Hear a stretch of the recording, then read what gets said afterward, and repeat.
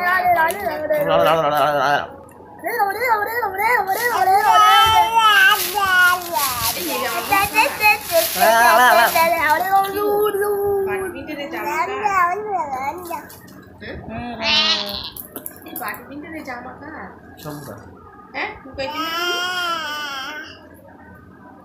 কই